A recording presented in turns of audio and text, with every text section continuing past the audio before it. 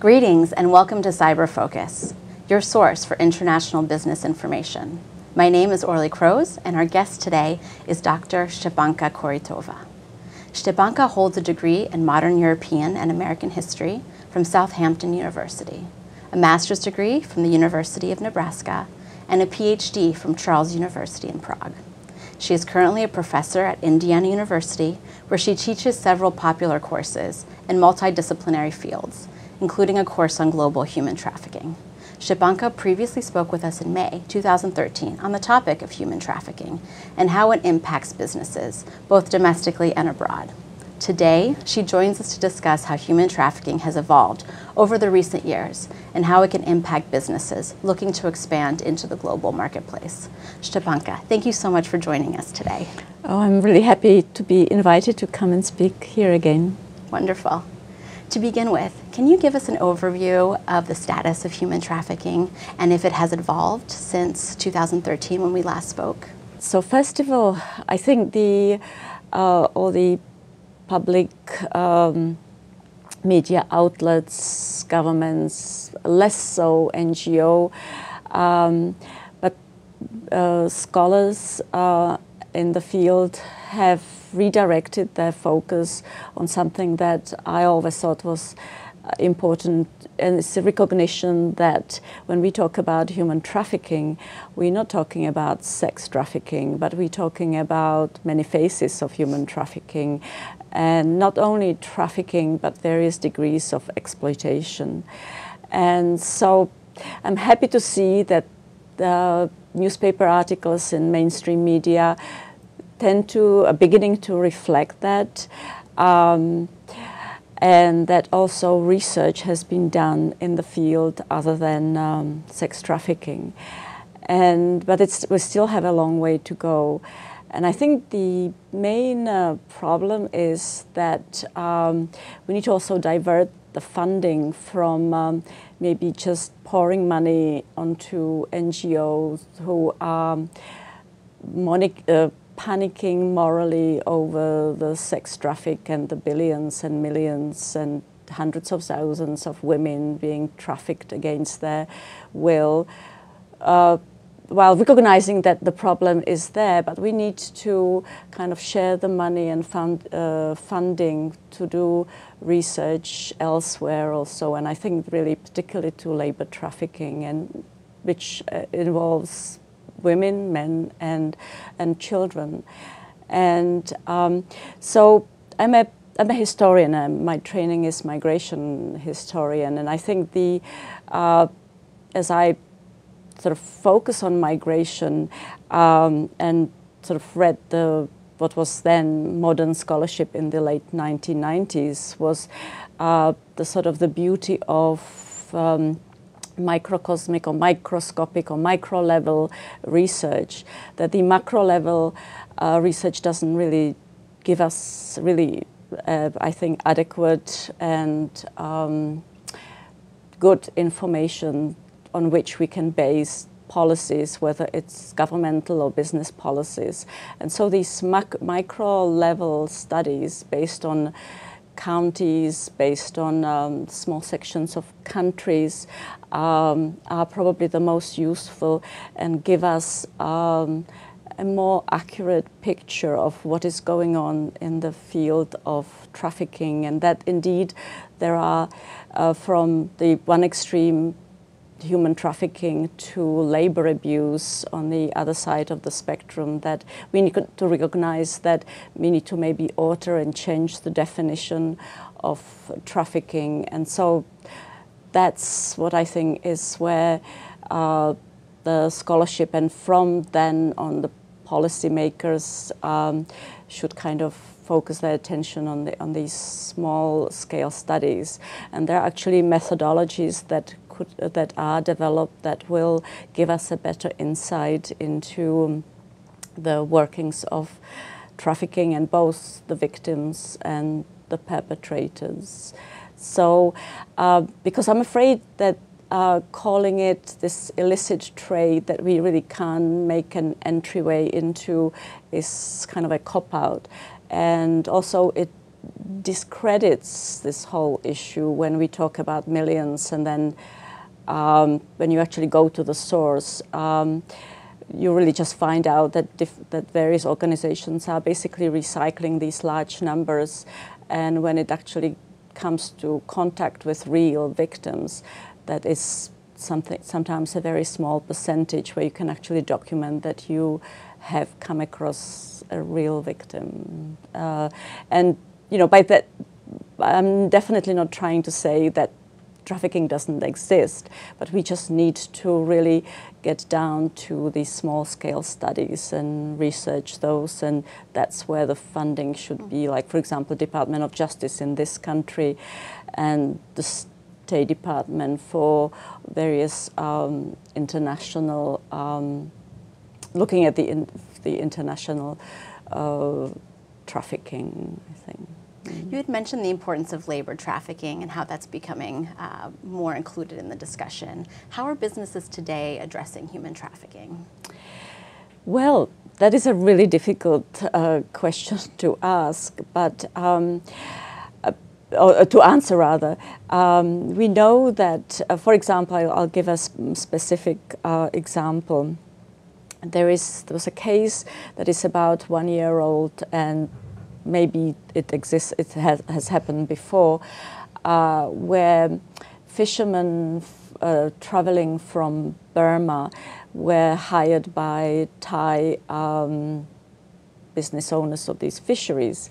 And so apparently these Burmese uh, workers were literally worked to death and um, then when they actually, some of them died, it was usually tuna fishing. And um, when they fired, they were just thrown overboard, and that was it. And it, but it was documented. It, uh, the British newspaper Guardian informed about it in quite detailed. Well, this morning actually, I had it's the 27th of March. I had on the news that. Um, uh, the Associated Press reporter saw these cages and who lived in the cages, not animals, it would have been bad enough, but it was on, the, on the coast of Indonesia. People were actually locked up in cages, and who, um, who were these people? They were Burmese uh, fishermen working probably for Thai uh, tuna business owners. So apparently, this this reporter followed uh, the, uh, the fishermen as they were uh, transported to different areas where they were doing the fishing and uh, then found that it was really a forced labor. They called it actually slave lab uh, labor. On um, uh, there was NPR article this morning, and um, so then they apparently they informed uh, these big uh, big companies such as Walmart, Kroger, and everybody else that sells these tuna. I don't know whether it was frozen or whether it was canned. That what is going on. So we shall have to wait and see how these kind of reports affect uh, the. Um, you know the behavior then of these large corporations, because obviously everything is kind of profit driven in the economic world.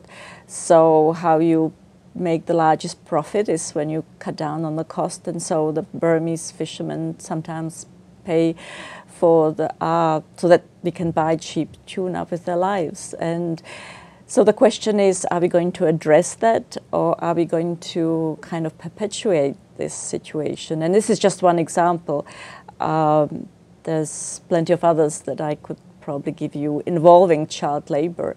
And if we wanted to be morally panicked about anything, I think that's uh, what we should do. And as consumers, we can make cho choices. Do you think that all the recent pushes for sustainability and ethical sourcing have had an impact on reducing human trafficking? And are there any barriers that still exist? Um, well, yes, because I think until we do what I said initially, these really small scale um, studies that really pinpoint exactly what is going on. So we know uh, maybe not the names, but we have the samples, and we can really pinpoint. Okay, this is the uh, this is what is happening. Uh, so before we take those seriously, I think there won't be any changes because um, you know we'll, you will. To, to, I think barriers barriers are in the way that we um, uh, as a, as consumers always want to buy cheap things. Unfortunately, a lot of cheap things usually that which is which we there definitely could be a reduction there. Um, and uh, so maybe thinking more in, um, uh, you know, maybe trying to focus on local issues as well. I mean, maybe purchase stuff that are made locally, so where we can have maybe a better uh, perspective on what is going on and who is going, who is being exploited and why, and which is by no way am I suggesting that we should ignore the labor or human rights abuses of these Burmese fishermen or child uh, or children who harvest cocoa beans in Sierra Leone um, and in West Africa generally, and you know why the large corporations still using that chocolate, uh, the cocoa rather, to produce chocolate that we very happily just eat and. Um, so you know, it's, it's just the whole uh, cycle that needs to be stopped and maybe the restaurants should decide okay we're no longer going to present quote unquote free chocolate because it's a child labor involved in production of this chocolate with whenever we present a bill to the customer in restaurants. So maybe we could start there. We don't want this chocolate anymore because um, it's upsetting. Um, how can business leaders positively shape the future of human trafficking? As a business leader, what kind of impact can, can you know, in terms of making decisions, how can they have an impact? Well, they can certainly um, see how, you know, be interested is where the products, how the products are made, uh, looking at the labels, lab, labels, looking down the production chain and um, use various techniques to advertise. But, but the problem is, um, I don't know, I probably don't know maybe enough about um, Tom's shoes, but there is a certain, certain ethical consideration going into this, into um, coffee beans, and then advertise it as such. You know, this is a fair trade product, uh, a fair labor product. This product was not made with child labor. And then we as consumers, now we have the information, so then we make a choice. I always think about um, South Africa and during the time of apartheid uh, that there were a number of countries that simply decided that they're going to boycott anything that comes out of South Africa. And I would I, I think that it really helped to get rid of apartheid in South Africa. So there are definitely methods and definitely those involved that involve business leaders um, in, um, in, in, that they have a great impact where they invest invest money and with what companies. Yeah.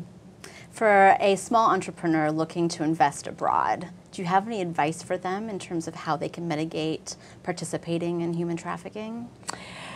Well, again, you know, that would be a very kind of naive suggestion, but do research first, investigate um, who you have that, that, that is going to be working for you.